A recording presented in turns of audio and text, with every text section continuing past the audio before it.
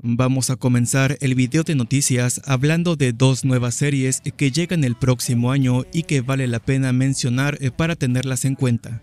La primera lanzó un nuevo avance esta semana, Ishura, un anime de fantasía y acción basado en las novelas ligeras, producido por Kadokawa y animado por el estudio Passione, sobre un grupo de semidioses que se enfrentarán a poderosos enemigos y a ellos mismos para ganarse el título de héroe verdadero. Todo esto tras la muerte del emperador demonio. Ahora, yo sé que de primera vista eh, tal vez no llame mucho la atención. Sin embargo, les diré dos motivos por los cuales creo, aunque sea, hay que darle un chance. En primera, el elenco de voces es un verdadero lujo. Nombres que incluyen a Yuki Kaji, Reina Ueda, Fukuya Mayun, Takahashi Rie, Romy Park, Yuki Aoi y Amamiya Sora. El segundo motivo eh, también es un punto en contra, pero ya veremos. Y es que la serie ya fue adquirida por Disney Plus eh, para su distribución internacional. Ajá, pero ya hemos visto que la gran mayoría de títulos de anime que son comprados por Disney terminan siendo casi siempre joyas escondidas, tales como Summertime Rendering, Heavenly Delusion y en estos días Undead Unlock. Ishura llega en el mes de enero. De ahí tenemos una nueva comedia romántica de fantasía que acaba de mostrar su primer tráiler, Aguas que tiene nombre largo, An Demon's Dilemma, How to Love Your Elf Bride. Basada en las novelas publicadas en 2017, la trama empieza cuando el poderoso hechicero Sagan decide participar en la subasta de bienes del ya fallecido archidemonio. Mientras que Sagan espera artículos poderosos y de valor, lo que se encuentra es una esclava elfa llamada Nefilia. Lo que nadie sabe es que Sagan se enamoró completamente de Nefilia desde el momento en que la vio. Lo malo es que él carece de habilidades sociales y no tiene idea de cómo expresar sus sentimientos. Lo demás ya se lo imaginan. La animación está a cargo del estudio Brains Base quienes tienen amplia experiencia en series del tema romántico, como por ejemplo My Little Monster, la versión original de Spice and Wolf y la tan querida Oregairu. Esperamos el estreno en algún punto de 2024.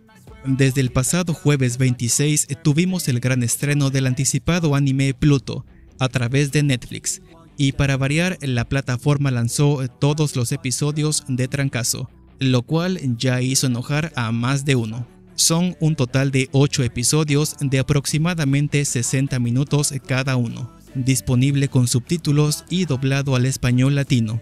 Pasando a otros animes con doblaje, Frieren Beyond Journey's End estrenó su primer episodio en español latino el día viernes 27, con las voces de Erika Ugalde como Frieren, Azucena Estrada como Fern y Eduardo Martínez como Stark.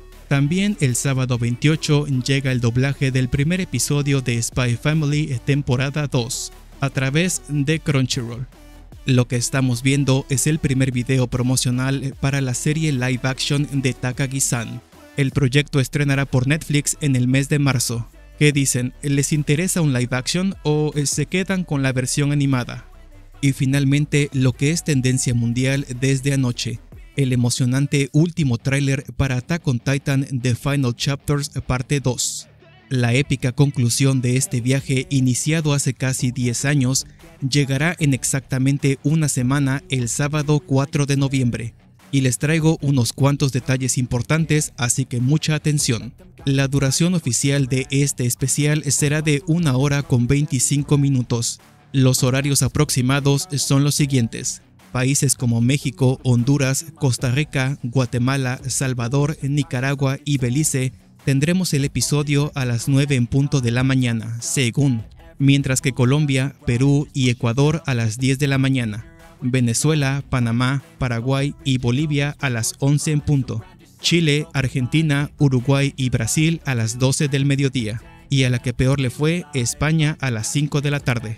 Y ahora la música.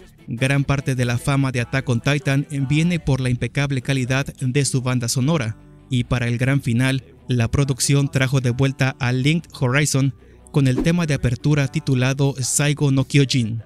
Y es aquí eh, donde sacaremos los Kleenex porque el tema de salida viene por parte de la cantante Ai Higuchi con la canción Iterashai.